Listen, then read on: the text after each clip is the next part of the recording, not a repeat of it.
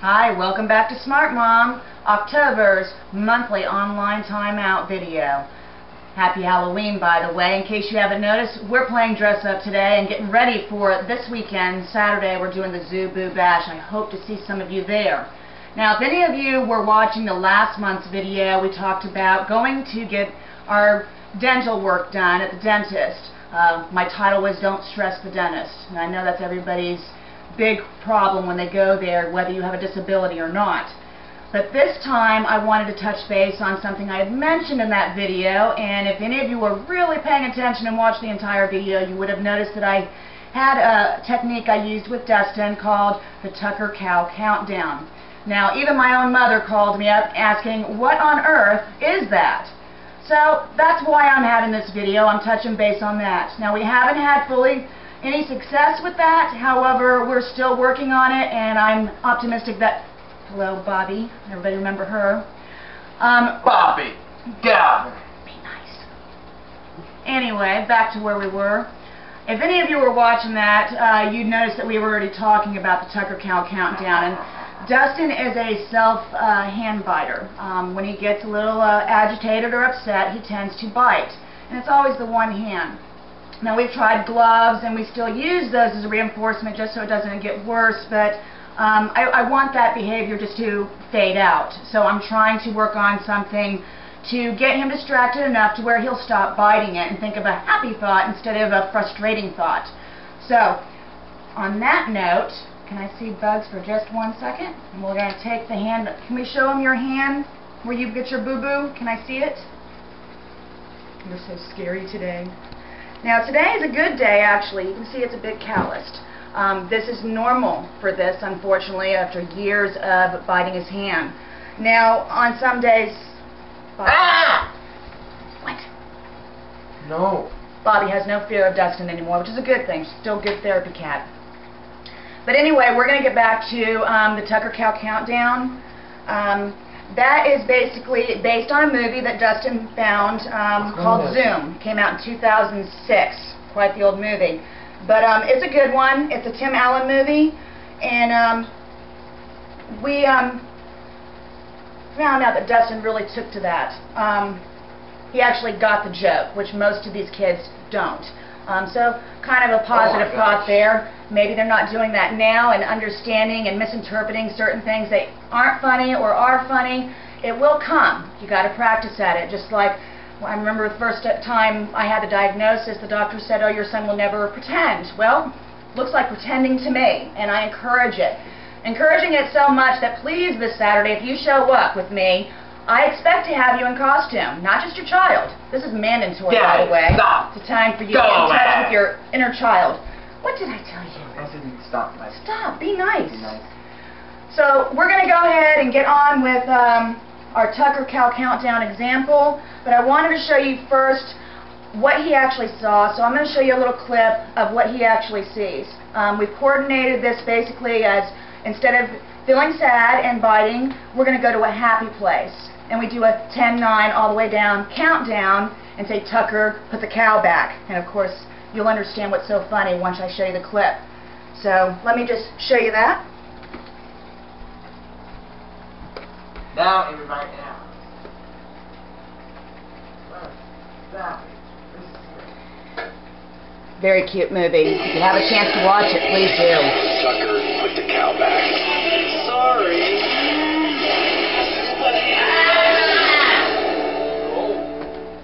Now, I know that was very brief, so hopefully you caught that. In the meantime, while I have you, and I hope my best friend Amy out there and her daughter Paige are watching this video because unfortunately my friends have had to leave me um, and they've went back up north to uh, live with some family. So on that note, I just wanted to say this is Amy, this is me. We're going to miss you. And then of course her daughter. Um, let me see if I can't get there. Yeah, They uh I know They tend to go with us to a lot of these events. This is at the actual last Boo Bash we all went to and had a great time. This is Paige, who as you can see, is one of Dustin's best friends. Um, they practically grew up together, and we're so sad to see them go. But just wanted to let them know that we were still thinking of them, and they're still in our hearts, and we want to see them soon.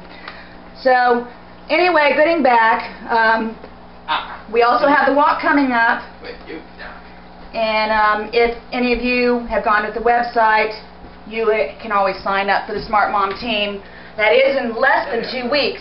Um, I'd really like to see some more people on my team. It's called Team Smart Mom. You can go to Autism Speaks for the walk that's coming up November 10th at Cranes Roost Park in Altamonte. So if you want to join my team, you can either go there or you can go to my blog at www.awaythroughautism.com where you can also go to the right-hand side, click on my flyer for the walk, and be able to sign up there as well. So in the meantime, um, I'm going to cut this film for a two-part film, um, and I'm going to show you the example of the, the Tucker Cow Countdown Happy Place. So stay tuned.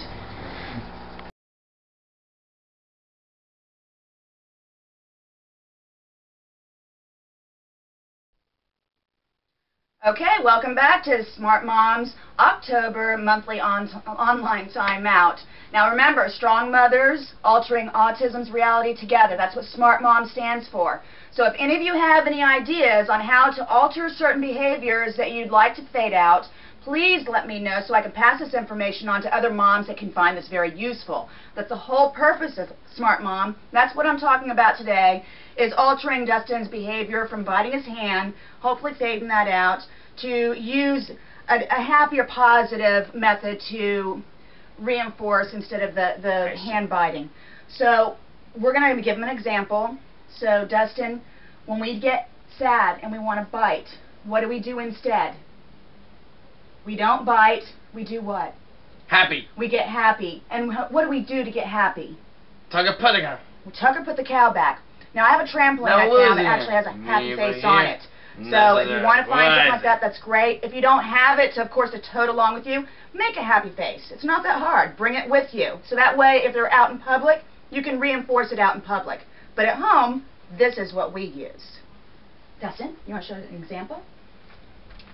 Ready? Now, happy is where we need to be. 10, 9, 8, 7, 6, 5, 4, 3, 2, 1, 0. Tucker Puttiger back. Tucker, put the cow back. Hey, hey! Oh my goodness! And we need to do it again? Ow. No. It's okay. So we don't want to be Why? sad. Why? So we don't want to be Eh. sad. We want to be happy. Let's get happy. 10, 9, 8, 7, 6, 5, 4, 3, 2, 1, 0. Tucker Puttiger back. Tucker, put the cow back. Now, how do you feel? Happy. Happy. Okay, so we made good choices. We made good choices by what? Yes, happy. Good choice. Getting happy.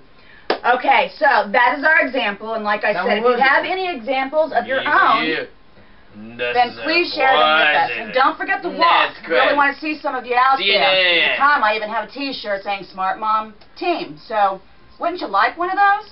If not, you can always get them at my website. Check it out. Um, in the meantime, hopefully, I'll see some of you Saturday, 10 o'clock, Zoo Boo Bash. In the meantime, I will see you next month, which you will want to check that out. I have a video call from Santa Claus. Great reinforcement. You don't want to miss it. See you So we will see you later. Take care, and we'll talk to you soon. Bye-bye.